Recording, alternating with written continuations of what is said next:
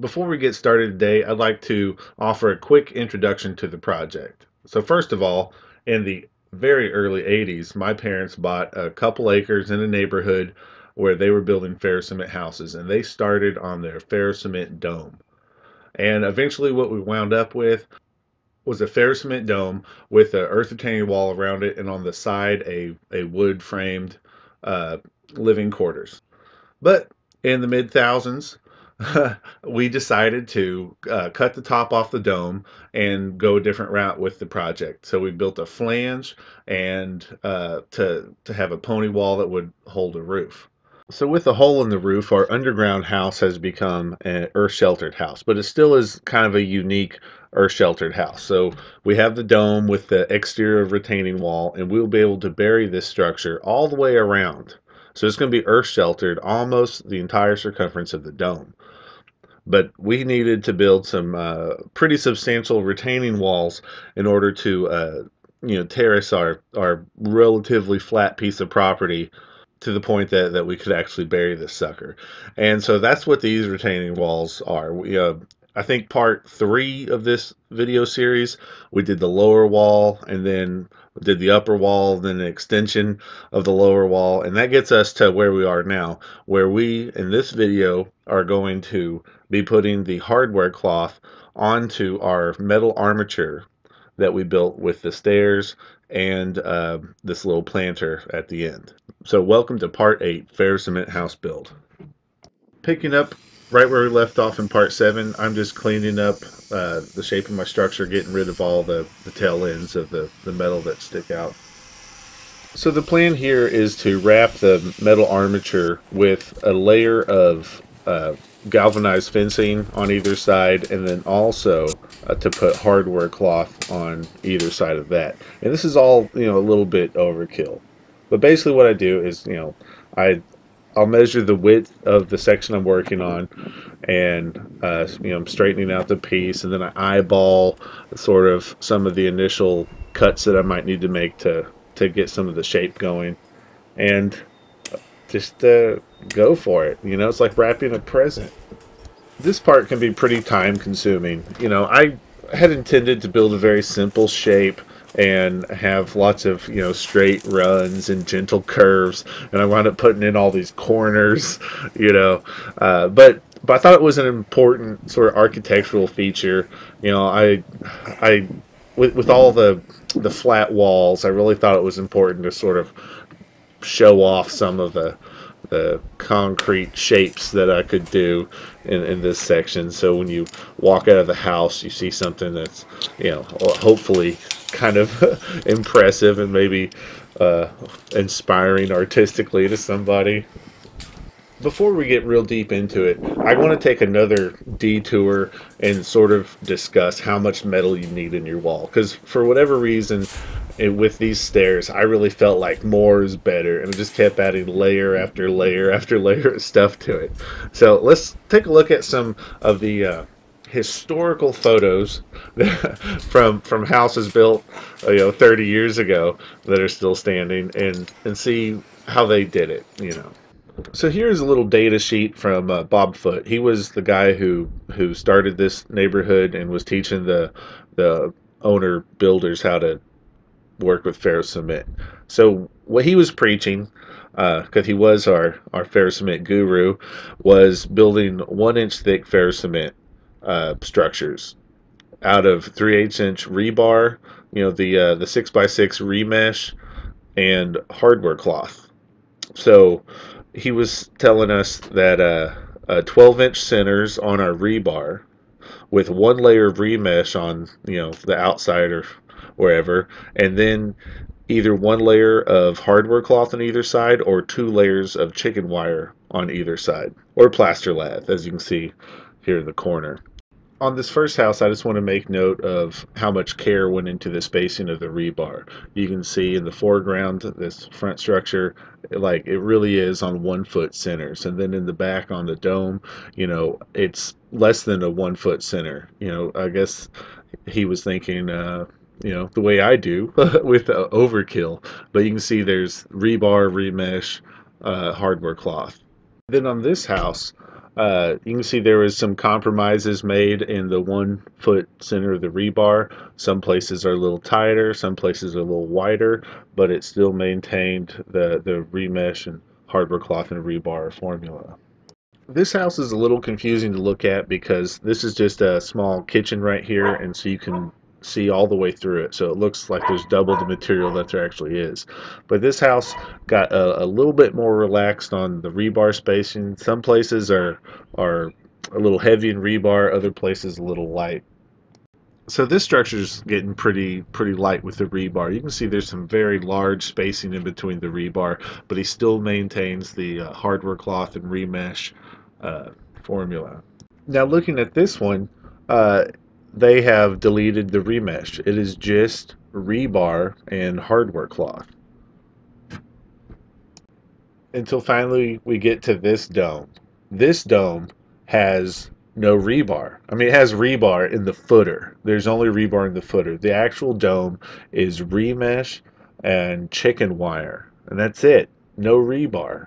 And uh, he you know he had to build it differently. He used a form and he laid out his metal on top and then placed the concrete on top of the form.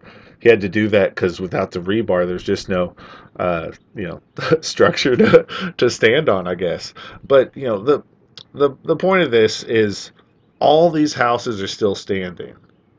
All of them are still being lived in, and you know. Uh, the the exact mix of how much metal you put in there seems to be pretty fluid. And and there's just a lot of experimenting going on with with uh, ferrous cement design. So when you're placing your metal just do whatever feels right to you you know uh, on, on my stairs I went a little heavy with the metal and then on the wall I went a little bit light. But I'm I'm confident it'll all work out. I'm just going to throw this quick time lapse in here.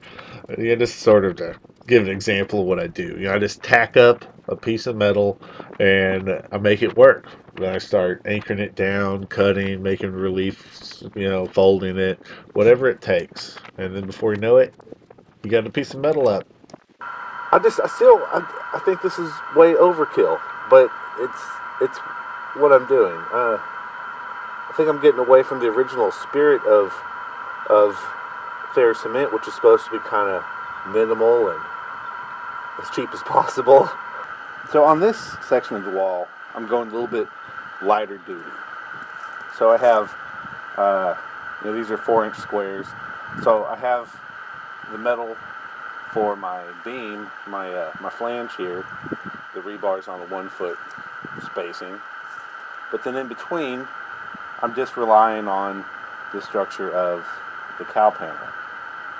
And the idea is, you know, each one of these wires probably has enough tensile strength to support a, a small car or something. So all this material together, covered in concrete, resisting load, is probably uh, much stronger than what actually needs needs to be present for, for what I'm doing. But since this is a you know a flat section, you know I went ahead and I put the fence on the back side and I'm putting uh, hardware cloth on either side. And I might even build in a couple, you know, structural like planter bowls or something just to give some some shape to the wall to help resist movement. But I have a you know concrete footer on the bottom, and then I have this this uh, flange on the top, and all this yeah, should be sufficient. All right, what I'm working on is uh, some of these little finish detail areas. You know, so I, I went ahead and pre-cut and bent my piece. Just try to get it in here. I'm to be doing that uh, stab and hook procedure. I'm gonna get this corner sucked down as tight as I can and just work it from here. Make another hook.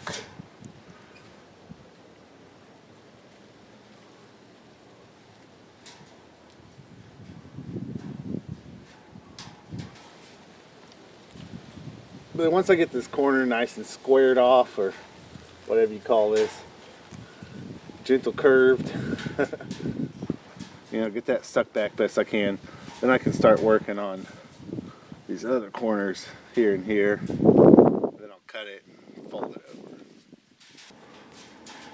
But these little finish touches, they're always the hardest. And once I get everything roughed in, then I'm gonna do the big crazy jab through a million little wire ties and try to get it all finished off. You know, if if I had help here, I could just stab them. Someone else could twist them. But this is a solo project today. That's just what you got to do. So I'm using uh, 17 gauge wire and this is made in the USA. The 17 gauge wire that's made in China it's not quite the same thing. I don't know what unit of measure they use, but it's a uh, it's not as good a wire. Doesn't have the tensile strength. doesn't tighten up as well, but it's also a smaller diameter. So it's just the the the lion. So this red brand, that's some good good stuff. Let me.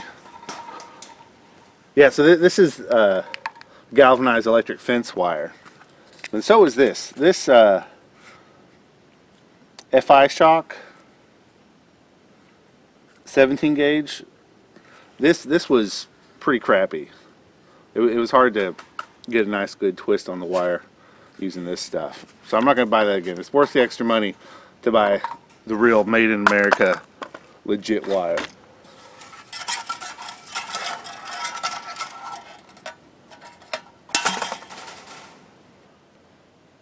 I mean the wire placement of wire ties is not like the most critical thing, but there's there's certain places I, I prefer to go to. So, for instance, like this piece of metal here, if, if I was wanting to make it tighter in a certain direction, I would hook it in such a way that other material, when tightening it, would cause the wire to, to pull it over.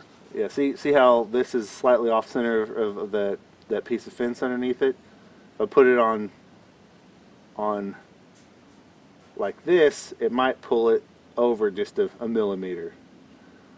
Whereas if I if I hooked it through a bunch of stuff like this, it would tighten it this direction. So tightening this up, I'm going to start with my, my bottom pieces and work my way out.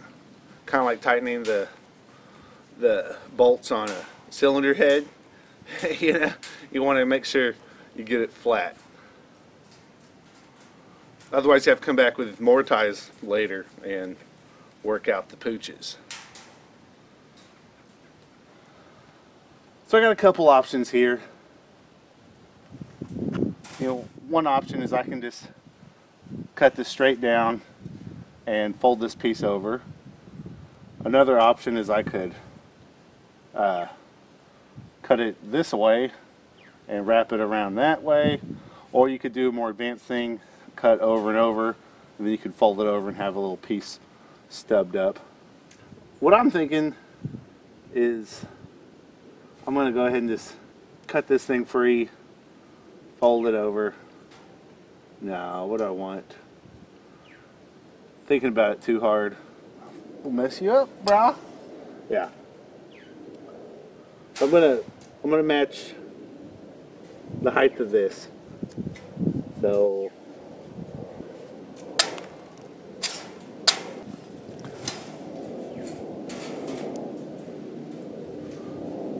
And they'll give me a nice area to work with. So as you can see, hopefully, I don't know if the angle's right, but I have I have this sort of worked up high. I'm, I'm folding this over and it's going down to the reinforcing. So the, the theory on that is, is I'm going to try to get this this uh, step to be flat. So I'm going to build up the concrete. I'm going to just float it out, you know, uh, this direction. That way I don't have this top step angling down because I kind of had a hard time working out the the shapes of all this. So I just need to finish, you know, piecemealing these different parts in until I get to more finished product like this other side. So these stairs have taken me way longer than I thought they would, but I think it's going to be a, uh, you know, a nice permanent feature for this wall. And it'll give us a little closer access to uh, our parking area. And it will, I don't know, it's nice to have some complicated built-in stuff when you're doing ferrocement because that's the whole point. You can do anything with it. You can make any shape you want. And why not? Why not try to do do a little artsy every now and again? Oh my goodness. Okay. I finally got this thing wrapped. It took a couple days. Uh, anyways you can see you know there's lumps and bumps going you know over pieces of rebar various inconsistencies or whatever. You just float float them out. You know uh, not quite as easy as it sounds. You know floating this out this was I mean this was floated out also. And you know it's got got whatever. It's got some handcrafted look to it but yeah, getting close. Now I just need to poke through all my wire ties and suck this up a little bit. I think I'm going to go ahead and uh, go a few more feet with with everything. Because what I'd like to do in, in one go is get all this done and then maybe end it at a at an angle. Because I like I like the cold joints diagonal instead of vertical like that one. That just seems like that'd be a weak spot versus uh, how these you know fit together like puzzle pieces and see over there the zigzag. That just that seems better to me. Alrighty, so I'm wrapping this up here. I cut a little notch so I can get everything to fit. And I'm just giving it a little gentle bend working my way around, trying to make sure I can keep it kind of tight.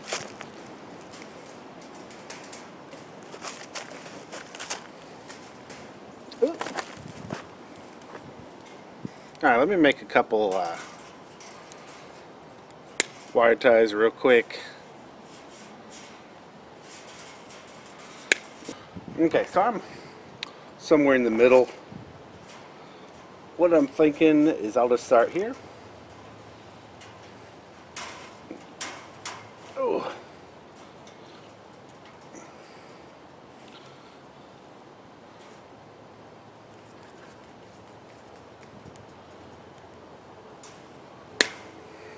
Alright, so again, I'm placing these where I can grab a piece of metal that when I tighten it, it'll pull it a little tighter.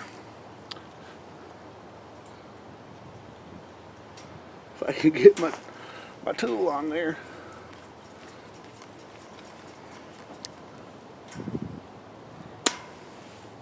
I'm just going to continue that until I get this done.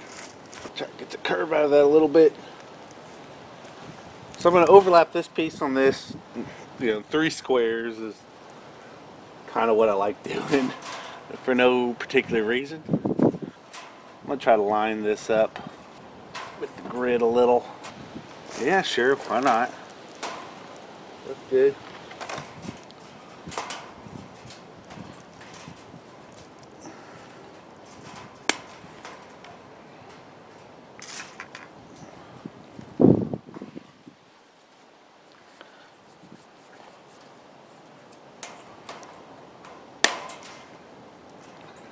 Something like that.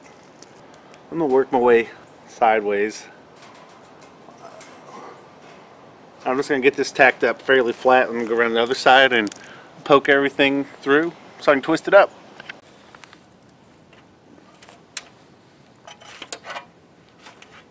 So I have a rebar height set around because I was planning on cutting this when I built it.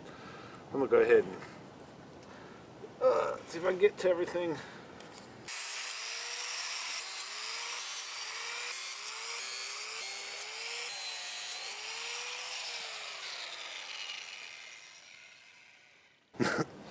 Uh, I don't know what I'm doing here right now.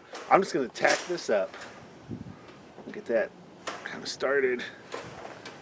And I'm going to try to shape it. I'm going to use a couple uh, pigtails here just to hold it.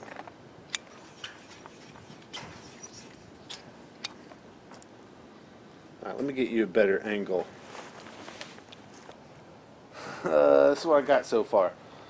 Um, so this is just you know tacked up there.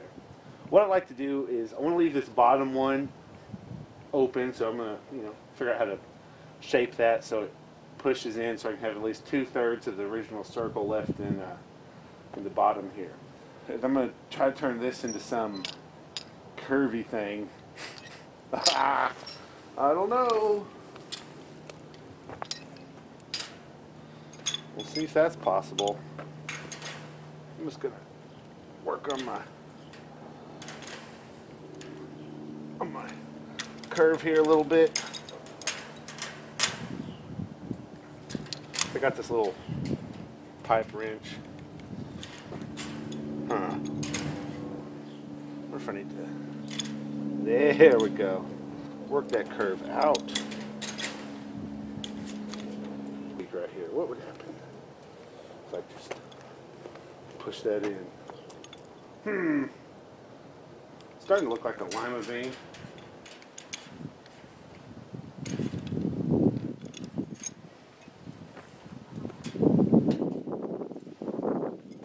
So I got all my metal up and I just need to uh, tie off these loose ends here. I have a bit of a bubble in this bottom piece. I'm thinking I might be able to just uh, get it to disappear somewhat with some more ties. So I'm using this uh, galvanized electric fence wire. It's uh, 17 gauge. So the technique I'm going to be using here is I'm going to be poking it through and pulling it back. So I'm going to make my little hoop, poke it through, stab it, pull it tight, and give it some twists. So I'm going to snip it fairly flat. You don't want to cut too short, you know, because because it sucks having these things poking out, and then you're like ripping your gloves and stuff. But if you cut them too short, where they're just barely hooked, you know, a lot of times they'll fail on you. So you need to try to leave at least one full twist, hold it together before it gets all. So let me give you a closer view of this. All right, so I'm just gonna look for something to to get a bite on. Gonna hook the uh, back piece of hardware cloth and the front piece of hardware cloth. Trim my piece down.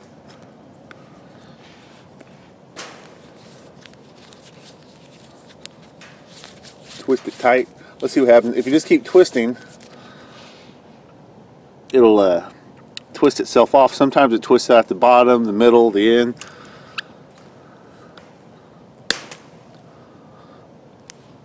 Then over here we still have our our flap and our bubble. I'm gonna I'm gonna get one from this side, one from this side, and just maybe put four here. Try to erase that bubble. Uh, typically, I like to go all the way through the wall and squeeze it together, get everything nice under tension. But I've uh, built in a little cavity here, which is going to be a you know concrete beam to help support this retaining wall. So I'm just gonna, with little short views,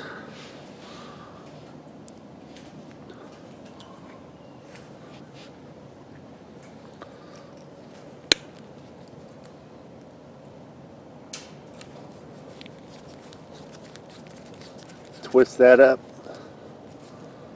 I'll snip it off. So you know Doug Lacey from the Shambhala Village channel, he uh, with his type of ferrocement, he'll do uh, hog ties, you know, hog ring ties. I've never done that myself. My dad said he messed around with it, but thought it lacked the the control but we didn't have like a, a pneumatic uh, hog ring gun that he used, which make it go a lot better than the hand pliers, I guess. A lot faster, at least. Okay, so what I have going on right here is I place this tie, but when I twist it tight, it gives me, uh, so you can see that, it gives me a bubble up here. So I'm going to remove this tie and I'm going to place it a little more carefully. So what I had done was I, I hooked it right below the line and when I pull it tight it's causing it to pucker up a little bit.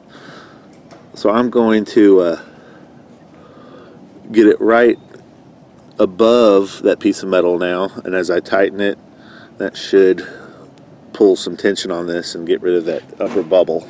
I mean, you don't have to be this careful with all the ties but I am trying to get this to look kind of flat because there's only so much you can float out with the uh, you know the the mud on top you know it's it's not as easy as you think to to float out some of these vertical surfaces but there are uh, you know took a bunch of ties but the bubble is you know more or less gone and I'm happy with it Well, that's it for this episode. Uh, next time, we're going to be throwing mud and doing fiber reinforced ferrocement. So with these fibers, I don't know if I need to break them up or if they break up on their own. So I'm just gonna dump them in. The data sheet said they disperse perfectly all by themselves.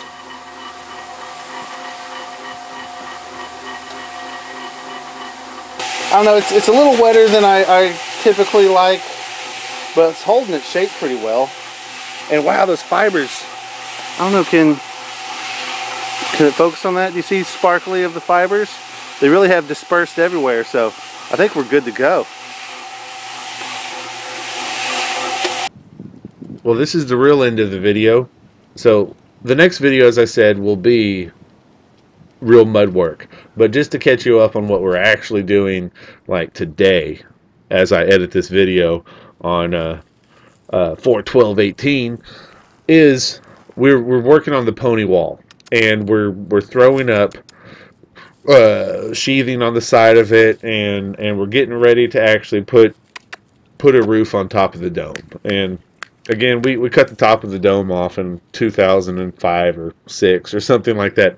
So it's been a long time coming. We, of course, we haven't been working continuously on this, but it, it oh it's something that we've wanted for a very long time. So it's very exciting getting close to, to having the the dome closed in. You know, probably I'll throw a video up of just working on the pony wall. Well, that that is if I filmed enough of that to actually make a decent video. But you know, whatever. Yeah, there's there's there's lots to come. And then we're gonna we're gonna take a little break from the ferro cement and, and do the roof, and then we're gonna be back into the ferro cement work. So, anyways, sorry for the long rambling ending. Uh, thank you so much, and I'll catch y'all next time. A yummy little snack, huh?